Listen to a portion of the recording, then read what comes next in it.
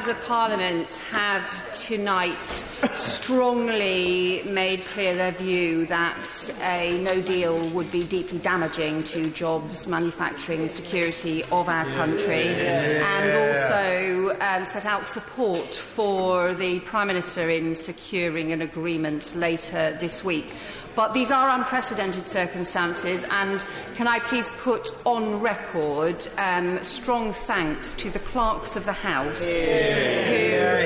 Have made it possible for us to put forward this cross party legislation in these very unusual circumstances. And we're hugely grateful to the clerk's expertise, without which it would not be possible for any backbenchers and any members to put forward, be it amendments or legislation in any form, that has proved particularly important in these extremely unusual and uh, fast moving circumstances. Well, I think the